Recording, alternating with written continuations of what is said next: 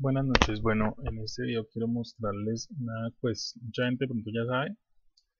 pero pues resulta que aquí en Unreal Engine eh, ya nos ya nos, nos habilitaron el exporter para para pasar la geometría directamente de Revit al, Unreal Engine. Entonces pues es, es eh, lo único pues que pasa es que solo está valible para la versión 2018 con Service Pack 3 entonces pues si tienes la versión 2018 pues no pasa nada yo no la tengo. Yo tengo yo tengo versiones anteriores entonces no tengo la 2018 entonces no o no lo puedo no lo puedo mostrar digamos cómo se, se instala. Pero lo que sí bueno les puedo mostrar cómo se instala pero no no voy a poder abrirlo ¿sí? no porque no tengo Revit instalado no tengo el Revit instalado el, el 2018 no el Service Pack 3 tiene que ser el Service Pack 3 porque ahí nos da la opción nos, da la obligación que tiene que ser Satisfact 3 entonces aquí estamos en el launcher de, de Epic Games y, siempre va a aparecer aquí en Community, ¿no? Entonces aquí salen todos los juegos y todo eso. Entonces pues nos vamos aquí a donde dice Unreal Engine. Ponemos Library y aquí nos sale la versión que tenemos instalada, todas las versiones que tengamos y los plugins también pues si tiene alguna actualización, por eso nos sale este símbolo pero nada de eso ahorita no vamos a mover nada ahí. Aquí están los proyectos que yo tengo pero bueno a ustedes les va a salir otra cosa. Aquí en esta parte de abajo están los plugins. Eh, eh, explico eso porque digamos son un, plugin que se llama Unreal Data Smith ese plugin permite es el plugin que permite recibir la información de los programas como 3D Max mm, eh, SketchUp todos los programas de 3D Maya eh, con el Unreal de Smith nos lo recibe, ¿sí? Y con los exporters, pues se lo instalamos al programa. Es muy sencillo, ¿no? La gente que ya sabe, pues yo explico esto para la gente que no sabe, que, que hace un plugin, ¿sí? Pero la gente que ya sabe, pues no tiene problema porque pues simplemente lo descarga y ya. Entonces aquí nosotros le damos aquí en Exporter Plugins y nos manda a esta página donde nos muestra una aquí nos muestra como nuestra imagen, nuestra escena en Revit y nuestra nuestra escena como quedaría en un Unreal Engine. Entonces aquí nos dice que pues que Datasmith eh, les permite el acceso para, para trabajar con Revit. Y eh, nos explica pues lo que va lo que va a realizar las novedades y todo lo que va porque pues esto es nuevo esto está en beta esto ahora lo están sacando. Esto es muy bueno para los usuarios de Revit pero pues tiene sus cosas como todo entonces pues igual eh, voy a explicar lo que dice nos es un, early access o sea que está pues están testeando todavía eso. En esta pues en esta versión la jerarquía los puntos pivots las luces cámaras materiales y texturas o sea todo esto lo va a recibir coordenadas UV y puntos surface and projection location. Esto es importante porque nos permite las la, localización y, y el ID de cada objeto de Revit entonces no lo va a recibir eh, lo va a recibir en, en, en, en, en, el, Epic, en el, en el Unreal. Y toda la jerarquía de la escena pero eso lo vamos a ver un poquito más adelante. Eh, el Revit Workflow, bueno aquí nos dice eh, que cómo se instala pues ustedes simplemente tienen que descargarlo y lo ponen en, le dan, sí, lo, aquí nos dice o sea, corre es un launcher como cualquier cosa, es un nexe y aquí está. O sea, ustedes lo descargan le dan next, next, next, les pregunta que dónde lo va a instalar. Eh, 2017 no se puede, ah, pero aquí sale 2017, eso es lo, raro. Voy a tratar de descargarlo, pero yo sé que no me va a servir porque aquí decía que, pues de todas maneras voy a tratar de descargarlo ya que estaba explicando, de todas maneras, y si lo logro hacer, pues mejor porque de una vez ustedes ven, eh, parece que es acá, no, no. Eh, es que cuando le damos en ese punto nos manda nos manda aquí. Entonces voy a copiar esta página y la pongo por acá. En esa, en esa porque yo no había visto pero según lo que ha leído aquí en, la parte en esta parte nos dice que es solo valible para 2018 pero ahí me dice que 2017 entonces no sé qué es lo que pasa ¿Será que eso está desactualizado? ¿O qué pasa. Real Data Smith, Real Data Smith. Ninguna de estas páginas vea para los No puedo pausarlo, pero Dios, eh, Relays no, no, esta no. No sé por qué aquí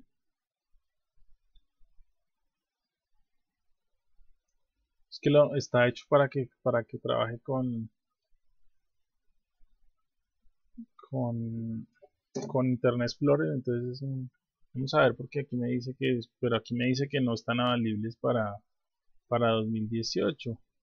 solo para 2018 entonces no entiendo por qué pues voy a tratar de descargarlo si me dice que no pues pues no lo hago sí aquí pues usted le dice next next que lo recargue esto es para que lo muestre que lo recargue eh, cuando se lo quiere desinstalar pero esto, esto, es para los que tienen Windows 10 entonces pues eso no, importa o sea para los que tienen Windows 10 pues aquí dice cómo lo desinstalar vamos a lo importante que es lo que hace eh, exportar el contenido de Revit en, en, data, en el formato datasmith o sea lo único que hace es exportar el archivo en, una extensión que se llama u.udatasmith que es la que nos permite importarlo directamente a un engine.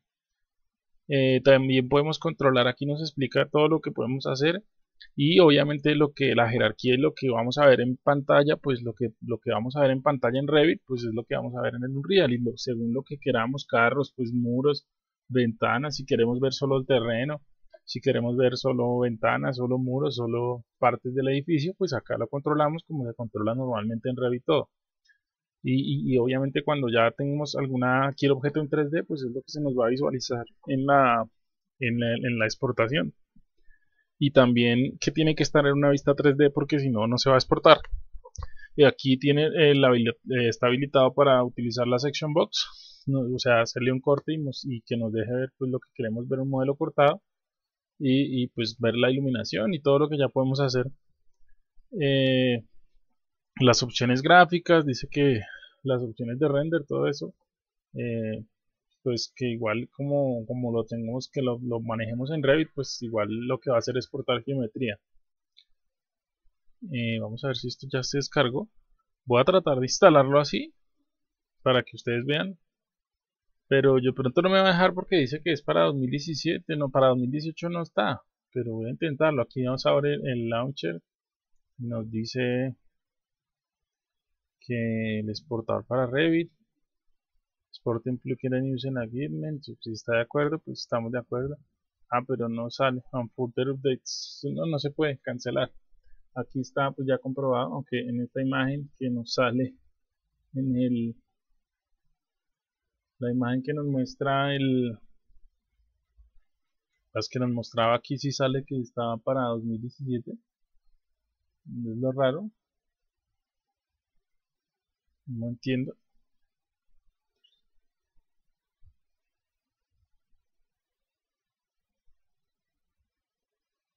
Cancelémoslo porque no, no se puede. Ya o sea comprobado que no se puede. Aquí de todas maneras nos dice que no no sé si en las versiones, no, porque aquí, o sea, aquí directamente nos está mandando la página directa de Unreal, entonces no se puede. Conclusión, en 2017 y anteriores no se puede. Eh, la geometría, pues lo, que, digamos, la geometría que maneja Revit eh, en, la, en la parte de la treselación, o sea, de cómo va a estar configurada esto, de cómo va a estar configurada la malla que vamos a exportar, sobre todo en las curvas y en los objetos que son compuestos pues va a tener bastante problema, eso ya no lo advierten desde un principio, para que pues no, sí, para que lo sepamos y pues lógicamente esto está, pues está en proceso, sí. de todas maneras el trabajo que hace es que por lo menos los materiales y eso pues ya lo reconoce porque antes no se podía conoce los materiales de Revit y los muestra aquí en la pantalla y también pues lógicamente también le podemos los parámetros los subís aquí más adelante nos muestra el, offset, o sea, la ubicación de lo que tenemos en Revit, a qué corresponden estos parámetros que tienen aquí extend offset, eh, offset eh, la posición, offset, W ángulo, o sea, los ángulos del, de, del mapeado. Eh, lógicamente el mapeado y eso pues es mejor que lo hagan en 3D Max, ¿sí? eso es mejor porque pues cuando son objetos así más difícil pues ya los que ya saben pues lo o sea la gente que ya sabe pues ya sí entonces aquí en Revit pues no se puede hacer eso sí no se puede hacer un wrap entonces pues eso de todas maneras del muro sí lo vamos a ver pues los muros sí los vamos a ver pues con su textura y su ángulo y su rotación según con respecto a lo que nos está diciendo acá que la escala que cuáles son los factores de escala, pues entonces le ponemos según lo que nosotros necesitamos y según la, pues porque Revit de todas maneras lo maneja en, la escala real. Entonces pues no vamos a tener que moverle muchas cosas acá porque pues ya en Revit lo está en escala real. Lo que sí vamos a tener que configurar es en la parte del engine para que se vea realmente en las unidades reales porque pues aquí las puede traer bien pero cuando ya tenemos otras cosas en proporción que nos están involucrando en el engine, pues tenemos muchos objetos, pues va a ser diferente, ¿sí? No se va, la proporción no, se va, no va a ser igual. No se va a ver igual, o sea, no se va a ver en proporción los objetos uno con otro. Sin embargo, lo que ya nos exporta de Revit, pues sí lo va a traer en la escala de Revit real. la, es lo que nos dice acá, en la escala real de las dimensiones. Eh, la, otra cosa importante que sí le ponen es que la jerarquía de la escena, pues cada uno va a ser un actor y, nos dice que, va a ser separado eh, pues por un actor para pues, leerlo en la jerarquía de Datasmith y que pues va a estar separado por los niveles según cómo está compuesto el modelo de Revit. También que la geometría eh, está un poco más, más trabajada para que para que los actores y la malla que se represente pues va a ser un poco mejor según lo que nos explica eh, que, va a ser digamos aquí nos muestra la jerarquía como va a quedar en el outliner eh, nos dice que en el nivel 1 o sea aquí nos muestra lo que va a quedar exactamente window frame digamos eh, el, el nivel 1 lo que tengamos aquí porque tenía como archivos de 3ds tiene archivos aquí tenía archivos importados de 3d entonces pues por eso sale ese 3d de xf4 pero si son los objetos nativos de revit no va a salir eso simplemente va a salir esto generic 100 generic 200 eh, wall pues todos los que han exportado ya saben los que lo que la las referencias que nos da eh, están basadas en la IA ¿sí? entonces eh, nos va a decir esto, 30 milímetros, como este por ejemplo, 30 milímetros total partition, todo eso también depende de cómo esté configurada las familias que ustedes tengan, ¿sí? pues lógicamente si uno descarga familias de Revit City, pues no van a estar totalmente organizadas como uno quisiera, todo toca hacerlo, pues toca hacerlo, toca, si queremos una organización perfecta, pues tenemos que trabajarla, ¿sí? eso tampoco es tan automático que ya nos va a dar todo perfecto eh, las medidas, eh, si no lo trabajamos desde Revit, ¿sí? porque digamos si tenemos los IFCs y ya tenemos todo organizado y nuestra plantilla está perfecta, pues todo nos va a salir aquí perfecto, pero pues digamos aquí dice curtain wall 6 mm Thin Class, entonces está bien porque esa es una referencia que las que trae Revit ya lo tiene bien escrito y, y los duplicados ya vienen porque lo duplicamos bien. Muchas veces lo hacemos más rápido, entonces pues de pronto ahí se, se, se, embolata un poco uno, se, se confunde pero, pero desde que uno tenga el orden desde Revit, mejor dicho, desde que seas un usuario bueno de Revit, no vas a tener ningún problema exportando esto y que se va a ver, pues se va a ver muy bien desde que haya sido trabajado bien.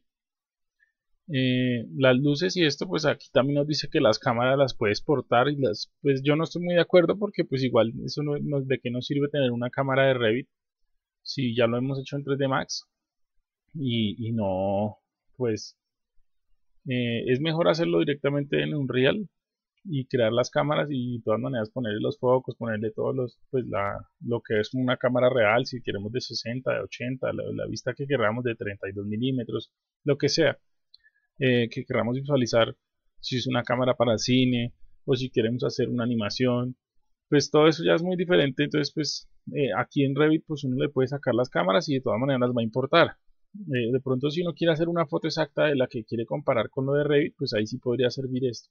De resto, pues no, no, no, no, no trabajaría con las cámaras que, pues, que utiliza Revit, empezando ni siquiera, no, si la proporción no está bien sacada de la, de la, de la cámara, no está bien puesto el foco y está bien enfocado y totalmente bien trabajado en Revit, pues no, no, no, va a quedar bien, o sea, lógicamente no, y, las modificaciones que le vamos a poder hacer en el Unreal van a ser menores porque las cámaras vienen capadas de Revit, ¿sí? En cambio, si la creamos directamente en el Unreal pues ya tiene todas las, todas las cámaras que tiene Unreal y todas las opciones que tiene Unreal, entonces pues no, no, no, no vale, no, pues, no, yo no trabajaría de esta forma, a menos que tuviera que lo que digo, que comparar un antiguo trabajo de Revit con lo que me va a quedar en el, en el, en el, en Unreal, de todas maneras es bueno que lo tenga porque pues igual al menos lo recibe, ¿sí? En caso de que necesariamente, obligatoriamente tengamos que hacer una cámara que tengamos que ubicarla en el punto exacto, mejor dicho, milimétrico topográficamente que tenía que ser este punto que queríamos ver hacia allá, pues sí en ese caso menos mal lo recibe. Entonces está muy bien que lo reciba, o sea, muy bueno que lo reciba, que reciba las cámaras. Y aquí nos muestra cómo debería quedar, que es lo que venía diciendo. Si, si nosotros hemos sido muy organizados en el modelo de Revit, pues nos va a quedar algo así. Nos va a quedar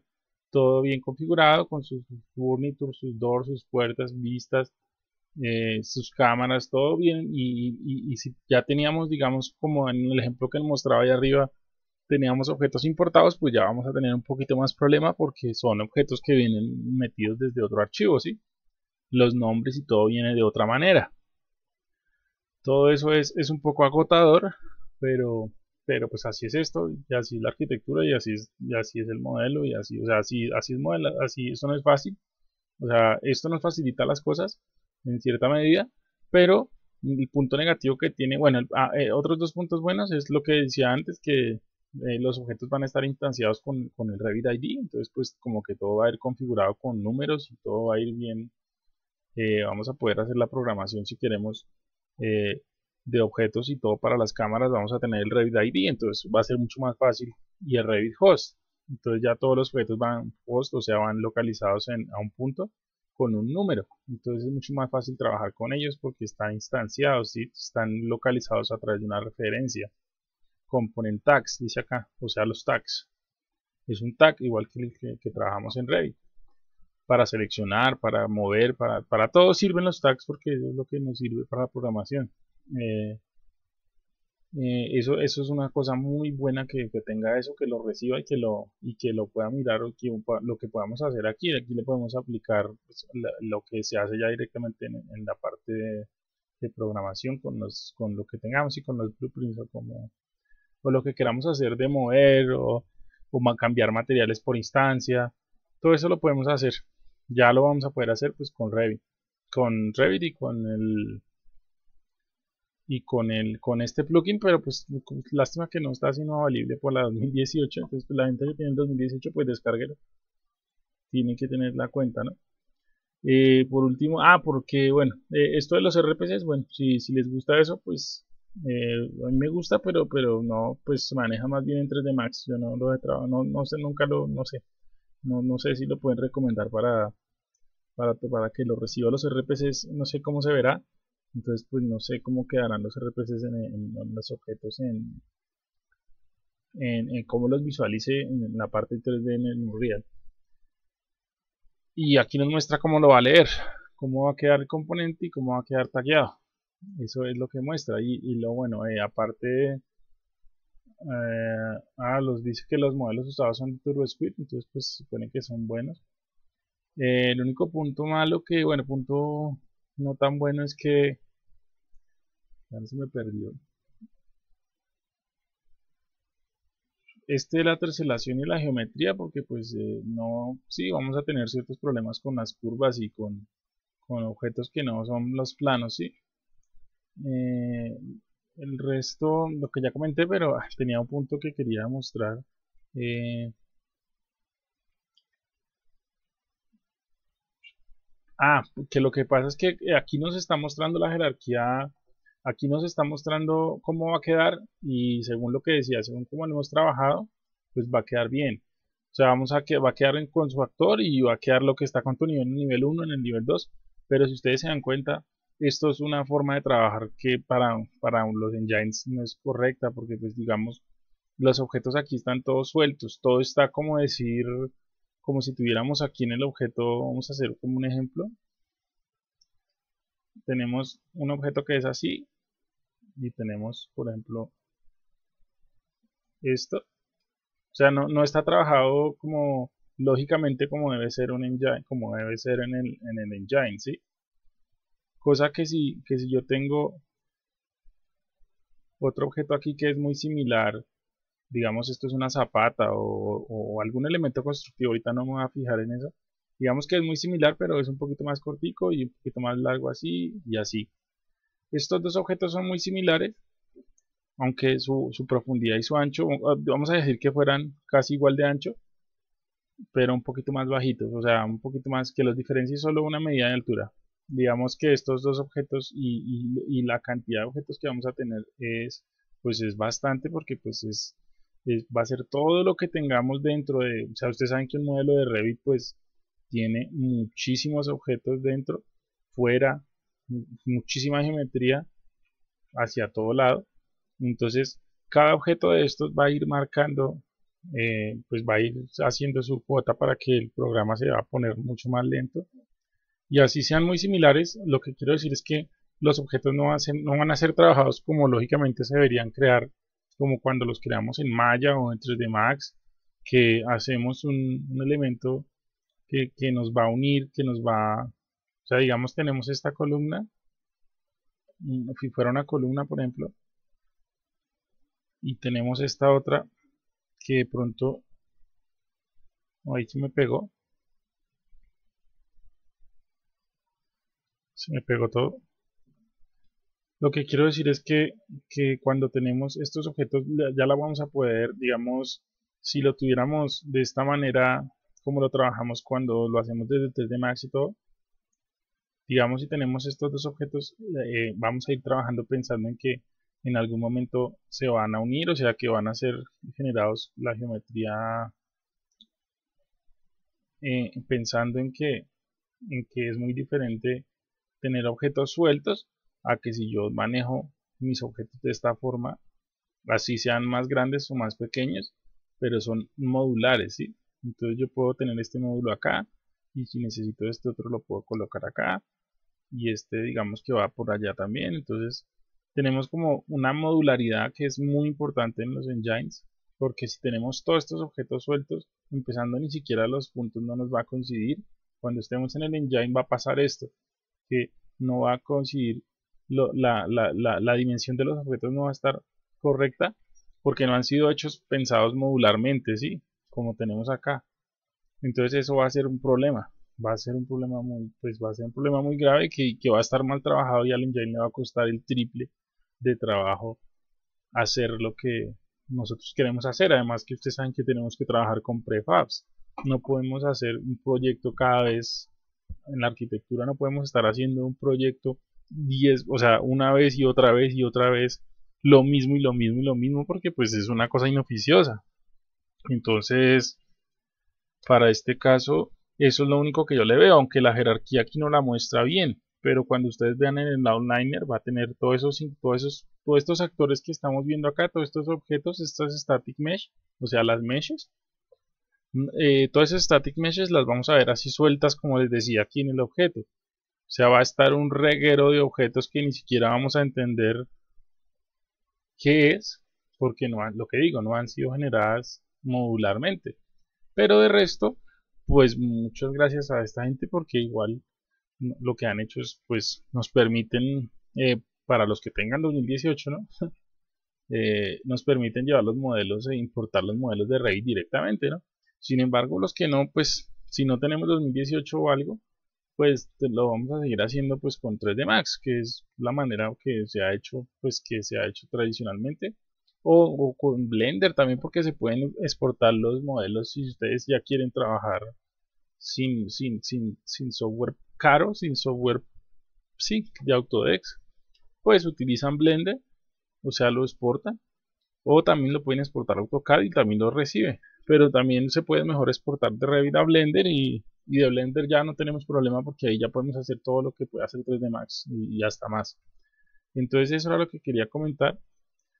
Eh, aquí están lo que, lo que nos recibe hasta el 2019 a los 3D Max.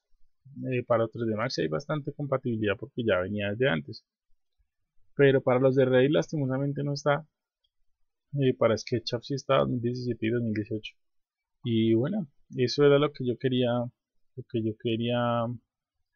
eh, hacerles conocer y, y bueno, muchas gracias, espero que, que les sirva y, que esto nos va a servir mucho para, para poder las visualizaciones, o sea, para nuestros proyectos nos va a demorar mucho menos ya hacer los proyectos, pasarlos directamente al engine, o sea, la visual, las, las, lo que nos aporta es muchísimo, o sea, esto nos, nos está ahorrando mucho tiempo y, y aparte que ya los modelos de Revit sí son modelos realmente arquitectónicos, o sea, son modelos que de aquí los mandamos a la obra, entonces pues menos mal, gracias a, los señores. Y también pues a, lo que ya a uno le toca es trabajar, ¿no? Listo, gracias y hasta luego y que les sirva.